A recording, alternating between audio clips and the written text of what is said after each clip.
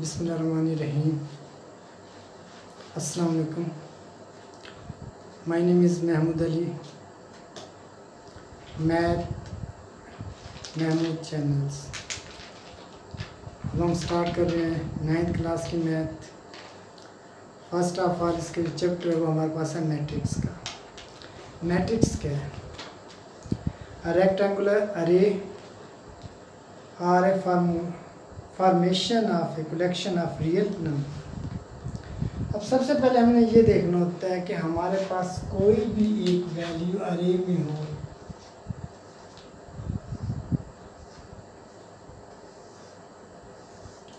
इससे हम मैट्रिक्स कहते हैं। जिस तरह नाम महमूद यूसुफ है।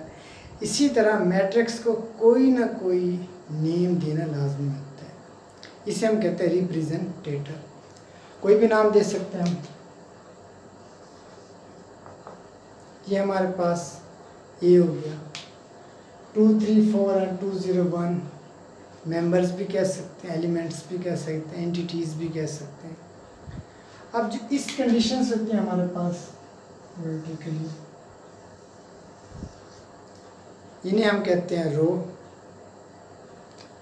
जो इस फॉर्म में होंगे हमारे पास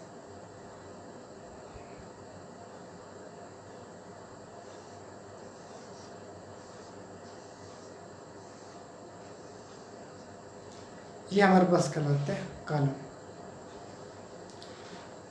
Collection of row and column is called a matrix हमारे पास अब तक order of matrix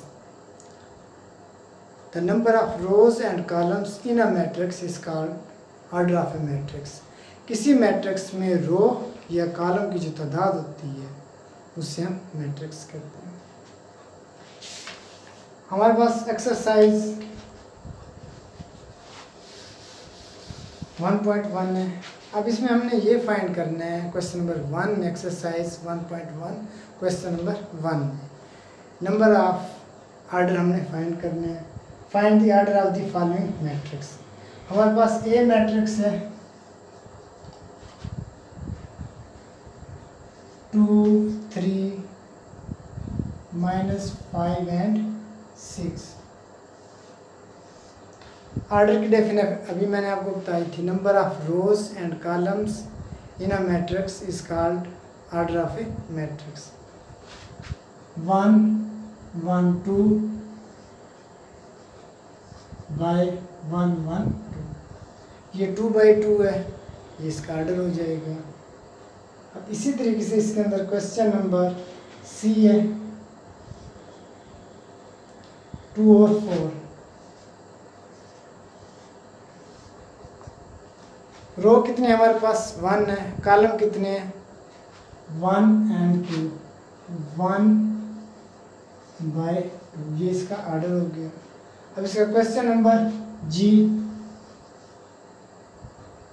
two three zero two three zero one two three one two three and two four five two four five how many rows and how many columns number of rows 1 2 3 1 2 3 number of rows and number of columns are same question number 2 है which of the following matrix are equals ये question number one था question number two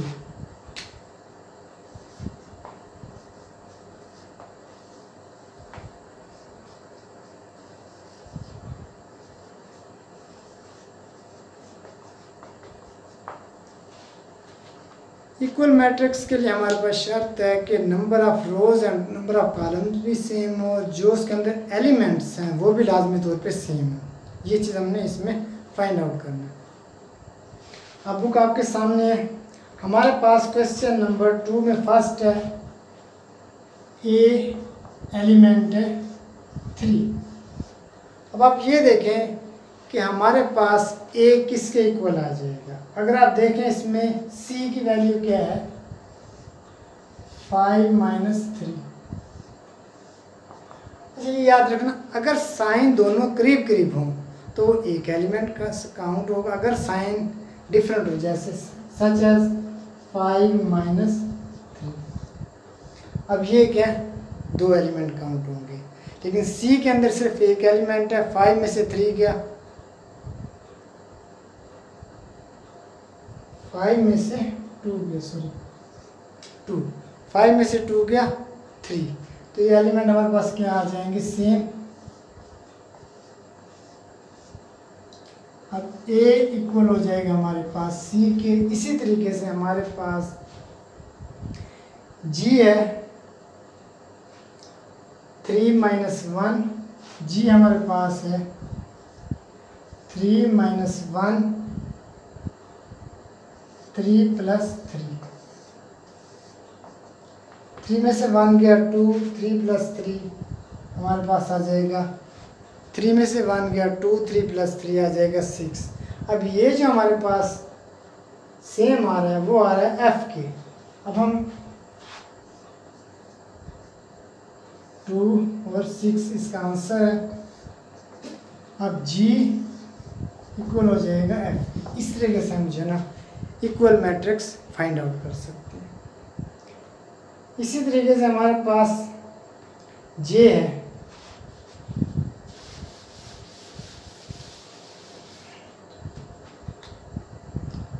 जे की value लें आप।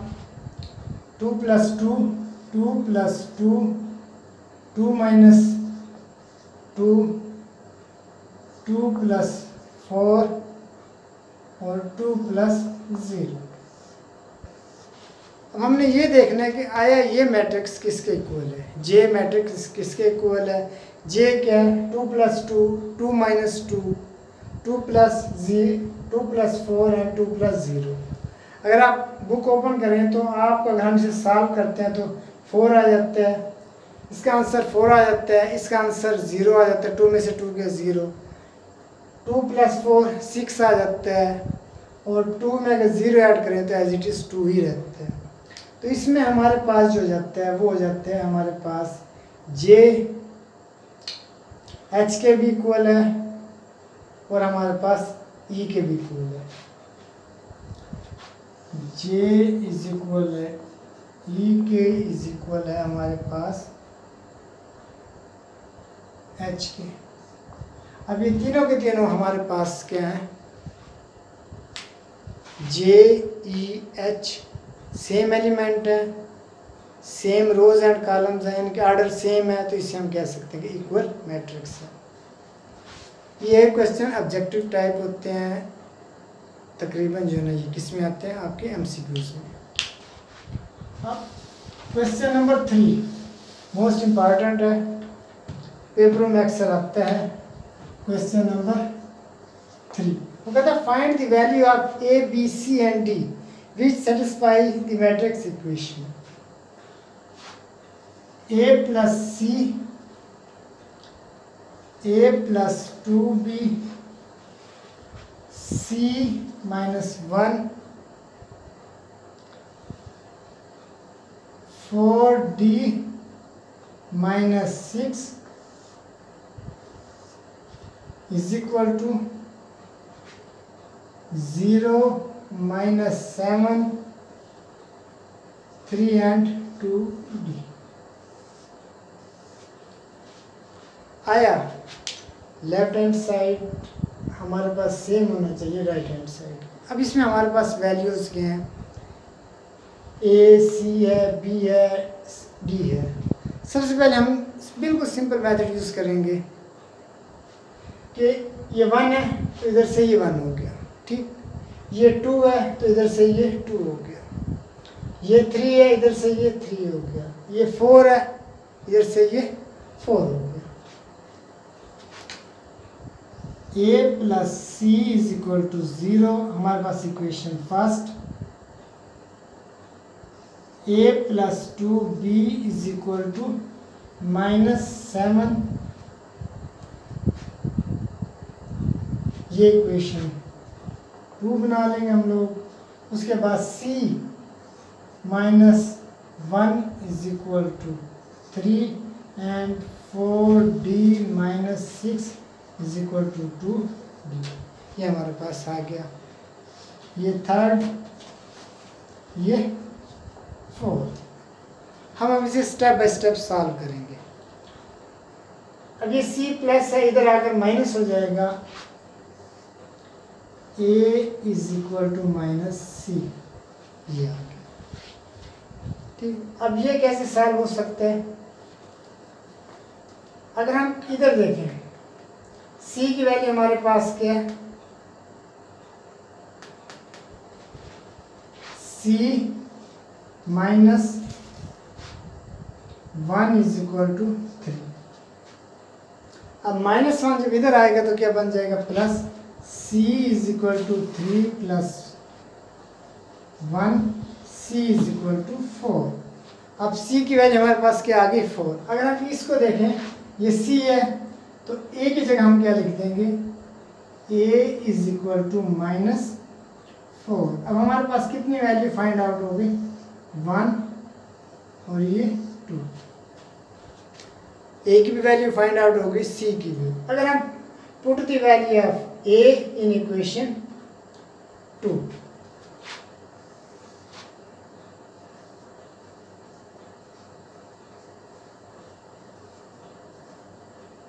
a in equation 2 put the value of a in equation 2 अब क्या आ गया हमारे पास?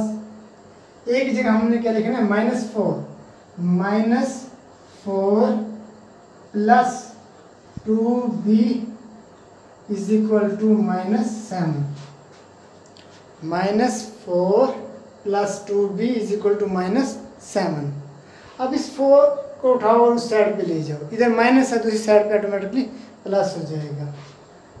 Two B is equal to minus seven plus four two B is equal to minus three minus seven में से plus four cut करेंगे तो minus three की value आ जाएगी। अभी देखो टू बचा हुआ है, इसे पिक करो और थ्री के नीचे ले जाओ।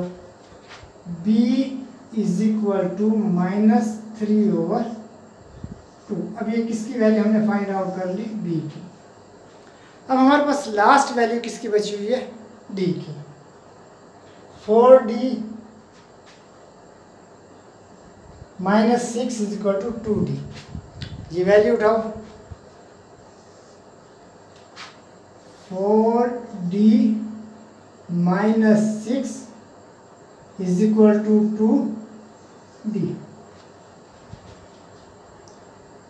अब इस फोर डी को मैं उठाऊँगा और दूसरी साइड पे ले जाऊँगा। ये हो जाएगा minus six is equal to two D minus four D four D plus का था, दूसरी साइड पे क्या हो गया? माइनस का हो गया। अब हमने क्या करना? है फोर में से टू माइनस करो, सिंप्लीफाई, टू आ गया। Minus six is equal to two. अब देखो, माइनस सिक्स है और माइनस टू डी है। माइनस माइनस हम क्या कर देंगे? कट कर देंगे। हमारे पास क्या आंसर आ जाएगा? Two D is equal to six. अब टू को उठा के इधर ले d is equal to six over two is equal to three. अब डी की वैल्यू में हमारे पास क्या फाइंड हो गई? थ्री। देखें। ए प्लस सी ज़ीरो कैसे आ गया? ए की वैल्यू हमें फाइंड की। माइनस फोर और सी की value plus four minus four plus four zero. उसके बाद a plus two B. A की वैल्यू हमारे पास माइनस फोर आई, बी की वैल्यू माइनस थ्री और टू हो गई। टू टू से कट कर जाएगा। जब आप ये वैल्यू इधर फ़ीड करेंगे तो आपका same as it is both answer same आ जाएगा। ठीक है? नहीं तो ऐसे करके देख लेते हैं।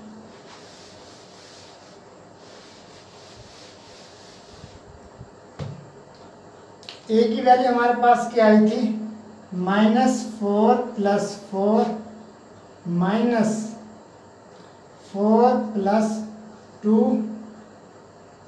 minus three और टू सी की वैल्यू हमारे पास क्या आई थी? Four four minus one D की वैल्यू हमारे पास क्या आई है? Three four multiply three minus six ठीक है। अब देखें। ज़ीरो, टू टू से गया। Minus four, minus three. Zero, minus seven. Four में से थ्री गया। फोर में से वन कट कर दो, थ्री आ गया। उसके बाद ये देखिए फोर, थ्री ज़ा ट्वेल्व। ट्वेल्व ट्वेल्व में सिक्स गया। सिक्स आ जाएगा। और सिक्स किसके इक्वल है? थ्री डी के। इनके D plus D. Three plus three is equal to two D ये आ जाएगा टू डी जी, हमने प्रूव कर दिया। बोथ साइड वैल्यूज़ सेम आ गई मैथ है। टिपिकल तो लगती है, लेकिन मेन चीज़ ये कि प्रैक्टिस बार बार प्रैक्टिस करें इजी रहेगा। आसानी से समझ भी आएगा। और मेन चीज़ है कि मैथ के अपने ऊपर हावी ना करो। आप खुद मैथ पे हावी हो जाओ, खुद को मैथ पे हावी ना करो। इस तरीके से इजीली समझ आएगी। Good luck and best wishes